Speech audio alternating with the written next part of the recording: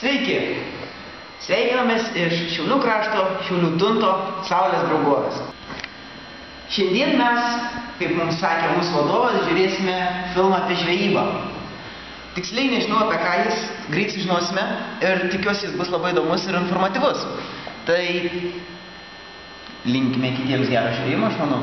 E, labai teisingai. Šiandieną žiūrėsime filmą apie karpių žvejybą Lietuvoje. Ten bus aiškinama viskas ir kaip e, žuvį maitinti, jaukinti ją, e, kokius mazgus naudoti karpių žvejybai, kokie įrankiai turėtų būti. Bet aš manau, kad jeigu kils klausimų filmo eigoje, klausite drąsiai, aš tos klausimus pabandysiu atsakyti. Na, o dabar sėkmės ir gero peržiūrėjimo.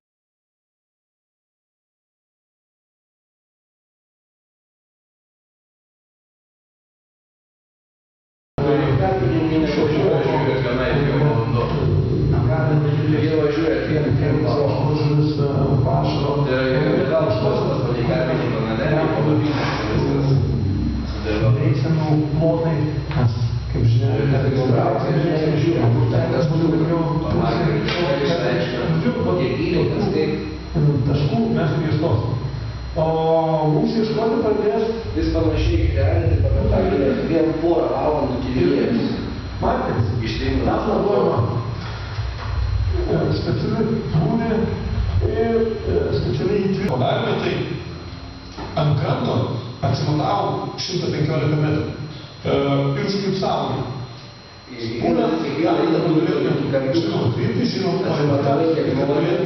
jer uškaljivema i to nam je ovoljeno od danas mesec znala slušnica jer vas je na toga ne način se nije žal jer kod nas je da je bava žena vas misli za estas bava stote ja ne to je naš ušta nastupa ne ne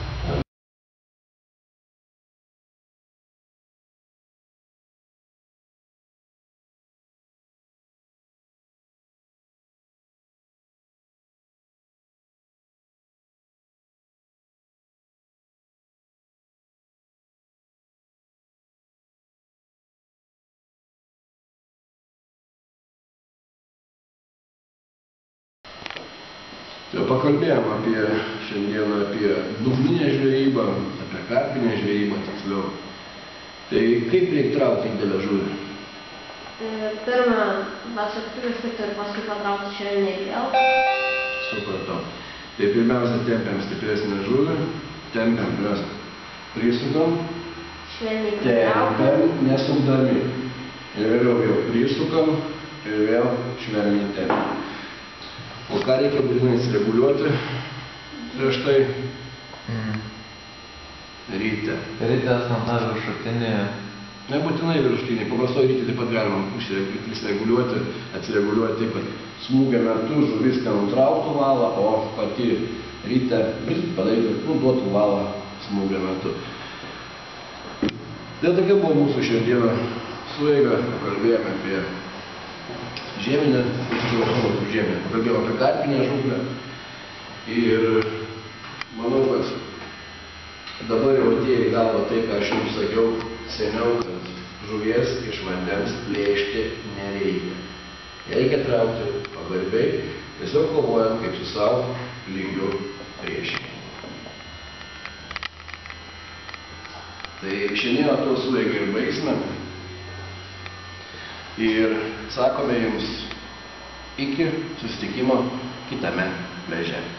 Iki viso. Visko.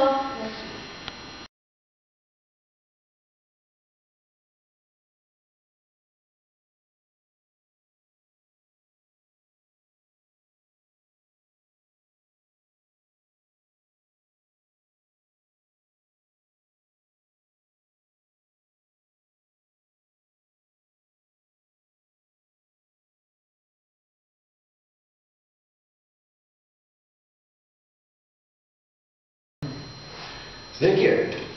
Su jumis ir vėl sveikinasi realybės šou specialistas Remigijus iš Šiaulių krašto Šiaulių tunto Saulės draugovės. Skautų prašymų šiandieną mes vėl surinkome informacijų technologijų kabinete tam, kad vėlgi galėtume pažvėjoti. pažvėjoti bent jau interneto platybėse, nes iš tikrųjų vandens telkinių dabar, ant vandens telkinių esantis ledas yra labai netinkamas žvejybai, korėtas, galima iš tikrųjų įlūšti, paskesti. Todėl taupydamas ir saugodamas skautus neleidžia jiems lipti ant ledo. Upėse taip pat vanduo nėra labai jau švarus, bėga, neša ledą, ledo liteles, todėl ir ten žvejyba yra kaip ir draudžiama, belieka žvejoti internete. Taigi, jungiamės kompiuterius, žvejosime nors ir taip, kur eiti, pamenat.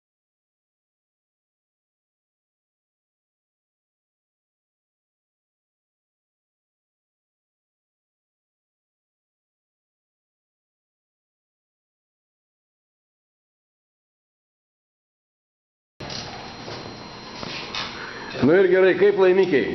Prasti.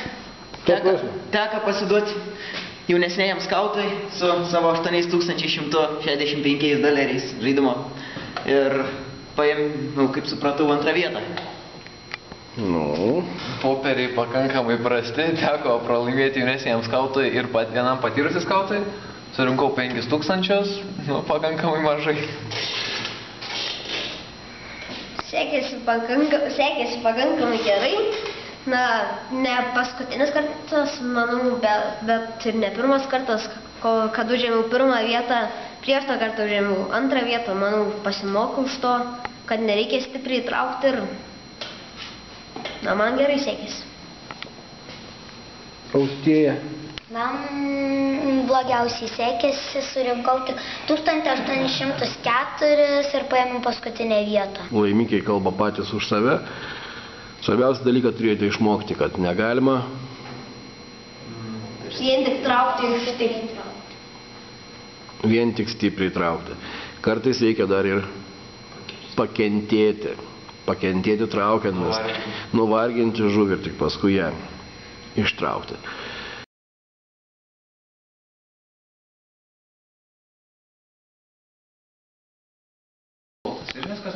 Tai jau jums reikės mokėti žvejo, mazgą būtinai.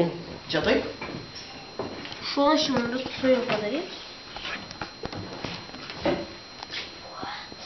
Panašu žvėjų mazgą. Nepanašu, o čia ir yra žvejo mazgas.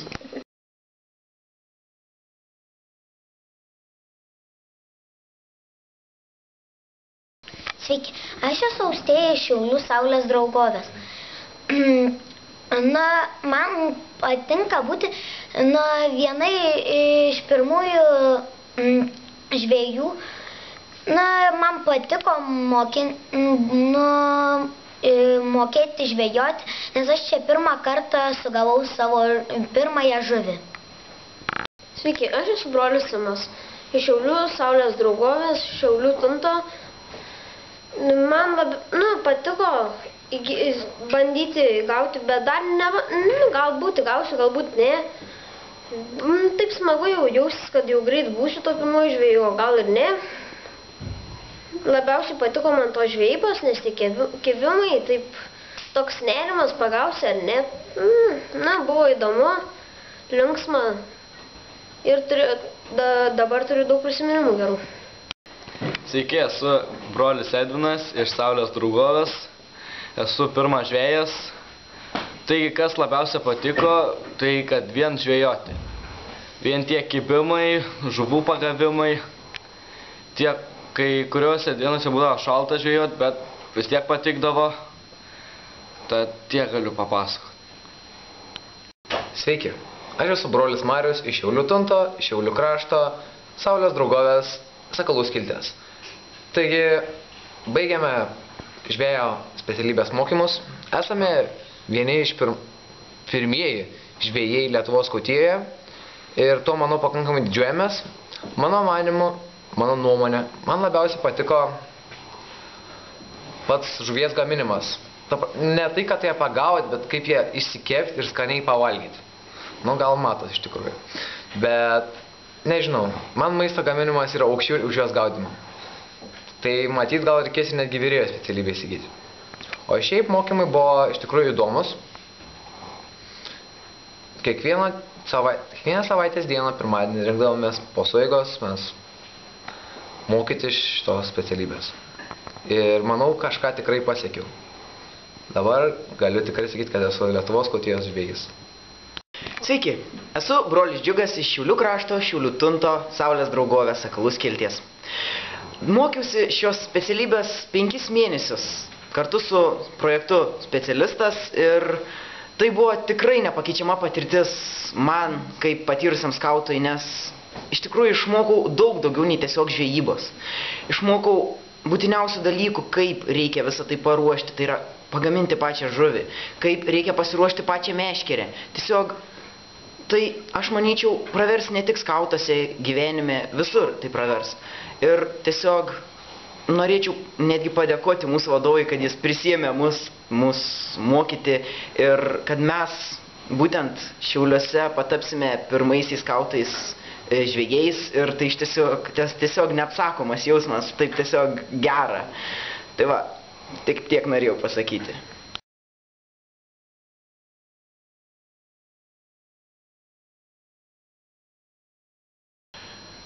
Nu ką, vat ir baigėsi penkis mėnesius beveik trukęs realybės šou specialistas. Savotiškai iš tikrųjų ir gera širdyje, kad išleidom pirmus penkis žvėjus į Lietuvos kautijos padangę. Bet iš tos pusės šiek tiek ir gaila. Gaila, kad na, lyg ir baigėsi tai, ką buvome pradėję. Baigėsi tos nu, nerapestingi tie išvažiavimai į gamtą, pažvėjojimai, mokymaisi kaip išgyventi, kabliukų ryšimas, pažintis su visais kitais žvejybiniais būdais. Iš tikrųjų gaila, kad realybės šou specialistas prasidėjo būtent rugsėjo mėnesį ir baigėsi sausio mėnesį, nes tai yra, ko gero, pats netinkamiausias laikas žvejybai. Taip norėjęs tų žvėjų padaryti kur kas daugiau, bet saugumas yra svarbiau. Tai manau, kad neapsiribosim ir mūsų pavyzdžių pasieks kiti kraštai ir žvėjės specialybė skautijos padangėje išplis, tobulės ir žvėjojančių skaičius didės. Na, o kaip visuomet sakau jums, iki pasimatymo kitame pleže. Iki.